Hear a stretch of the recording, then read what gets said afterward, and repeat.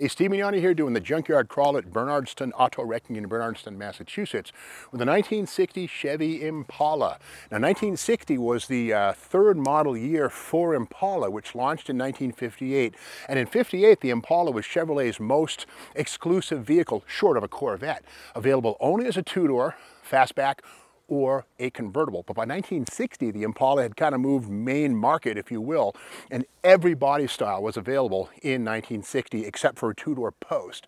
You get wagons, two doors, four doors, convertibles in the Impala lineup as it really proliferated for 1960. Now in 1960, full-size Chevrolets accounted for 84% of all Chevrolet sales. Keep in mind that the only car this had to compete with was the Corvair hmm, or the Corvette. The Nova didn't come along till 62, the Chevelle till 64, 64, the Camaro till 67. So again, in 60, full-size Chevys were the main sellers, 84%.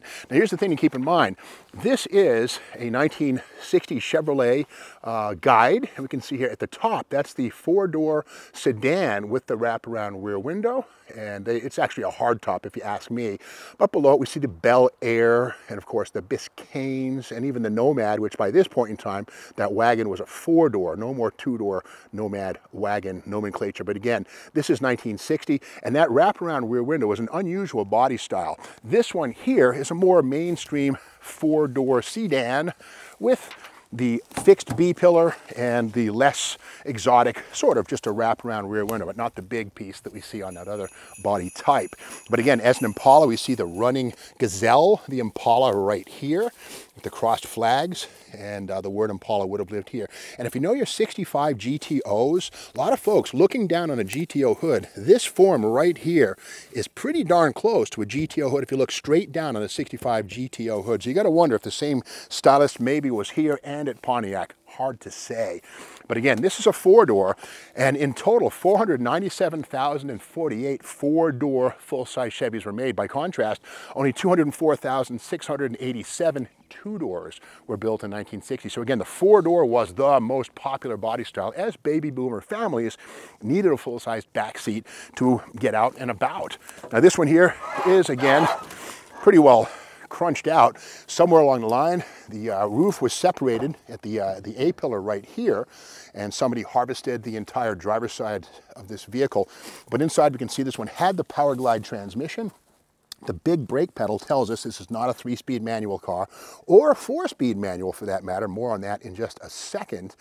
But here the, uh, the steering column here with the directionals and uh, really exotic. I love how the Impala dashboard instrument panel right here, this magnesium structure right here, sort of like right out of a, I don't know, a Phantom jet fighter or maybe an F-84 or something like that. But very cool stuff. Again, magnesium casting here with uh, very much of a fighter plane vibration to it. Uh, under the hood on this one, we could have anything from the uh, 235 six banger to the 283 small block to the 348 turbo thrust engine, which was a big block, W engine. And see what we have here. Look at this, man. This grill is nice. The rest of this car is pretty well mangled, but that grill is in pretty nice shape, complete with the little clear lucite panel in the middle. Front bumper's not horrible, uh, munched on that side, but man, the rust has taken its toll, but other bits on this thing are still not too shabby. Let's look underneath. Drum roll, please. Watch my tetanus shot here. All right, okay, yeah, small block. No W motor here. We can see here the classic small block Chevy with the pressed in studs here. Uh, if you put heavy duty valve springs on these things, the fulcrum right here sometimes pulls these studs out at 6,000 RPM as you're making way from second to third gear or whatever it might be. But again, this one is fairly mundane. It does have the Ram's horn exhaust manifolds, which are more streamlined than the logs that were used in 55 and 56. These arrived in 57 on Corvettes, but trickled their way on down to pretty much all full-sized, well, all applications on the V8 uh, for 1957 onward.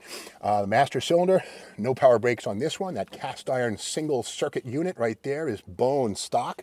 This one was a manual steering car, no power steering in effect here. Uh, but early effort here at the fan shroud, this one here made of metal, and that would have helped direct the uh, cooling flow through the core of the radiator instead of dissipating it in a non-wind tunnel type deal. Now speaking of the engines in these things, this is Motor Life magazine, February of 1960, with a test of many of the new cars, including the four-door Impala inside. And in here we find what they have to say about it. A Rockier. Yeah. Uh, it says here, testing the 60s Chevrolets, and it says the Impala hardtop. This big, high-powered and luxurious automobile proves just how Chevy has expanded from the concept of cheap transportation into the lower levels of medium-priced luxury. Now, if we look at the picture of the engine, that is the 348. That's the 280 horsepower four-barrel, the turbojet, I think they call it a turbo thrust. And they had more to say here. It says the window vents are crank operated, Chevy exclusive in its field, and caused very little wind noise even at high cruising speeds. Now on this one, the 0 to 60 came up in 10.7 seconds. And again, it was equipped with a 348 250 horsepower single four barrel engine. Now, interesting to see is that in 1960, there's a lot of different options you can get on your Chevy. And this is basically an article how to get the most from your Chevrolet. And it says here, since 1955, Chevy has zoomed from the position of being a rather uninspiring car for the proverbial little old lady from Pasadena or expendable transportation for traveling salesmen to that of glamour boy in the popular three category, where once one bought transportation pure and very simple, one can now buy anything from pure economy to absolutely fierce and sizzling performance. You can see right here, it says here, uh, you can, the advantage, anything you want, including a factory four-speed transmission. And here are the options right here on the left-hand side. It says here, talking about gear ratios, three regular rear-end gears, 336, 355, 370. Normally these come with power glide, three-speed and manual, and three-speed with overdrive. But there's nothing in the rule book says you can't mix these around to suit yourself. And of course, uh, here it is, the heavy duty clutch right here, available for the manual transmission. Uh, owners in San Francisco and Denverites would like the heavy duty clutch. But most important, four speed manual. 1959, first year, for a four on the floor based on the uh, T10 transmission. It says, in the realm of the RPO, the regular production option, is the one numbered RPO 685 to justify the justly famous four speed all synchro gearbox. Normally, as far as sedans go, this is teamed only with the larger larger 348, but the chances are, if you fight hard enough, you can get it teamed with your 283 as well. And again, here's all these cool things. Uh, dual exhaust, which is RPO 220, uh, the triple carburetor 348, optional right there. The T10 four-speed, there it is right there, RPO 685, Positraction, RPO 675, heavy-duty rear spring. So even taxi equipment right here. You could actually build your Chevy from mild to wild, heavy duty, light duty, you choose. And uh, cool stuff. You know, getting back to those quarter windows, you know, it is true that most cars with quarter vent windows like this, they were manual. You had to pop them out and latch them on your own. But if we come around here, we'll see that Chevrolet actually had window cranks right here. Not for the big windows, they had that too, but also, here's the big window right there. Well, I guess that's the end of that. there we go. But this little guy right here, which, yeah, still works. Kind of cool. That's something you've seen on a Cadillac or a more expensive GM product, but standard equipment on Impala. Kind of cool. Now getting further into this Impala, we'll notice here at the back, the X frame, will Super Shane Richardson will will swap spots here and take a peek inside. And we'll see down the middle of this car, there's a frame that goes right here, right down the drive shaft tunnel. This is Chevrolet's X-Frame, 1958 through 64, and uh, kind of controversial because on the side, you know, the traditional perimeter frame isn't there. Now, these do have a structure which kind of protects you in a side impact, and the remains of that structure we can see right here, and you can see it's semi-box structure, this thing right here. But again, the uh, void between this and that X-frame is taken up by the seats and the passengers potentially. But again, this has coil springs all the way around. And we can see at the back of this one, to curb axle hop, on the right-hand side is an anti-pinion rise arm, this thing right here. Now, four and nine drag racers in 62, 3, and 4 used to add another one of these to that side so that both sides of the differential would be tamed on a hard launch from uh, pinion rise.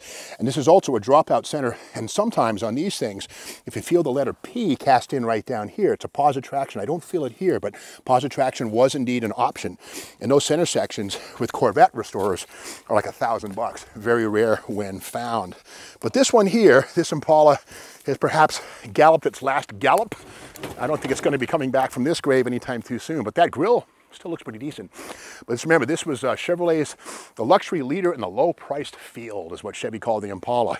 And again, 497,408 four-door full-size Chevys were built in 1960. And again, baby boomer families, chances are you knew somebody who had one of these, maybe five people who had one of these in the driveway.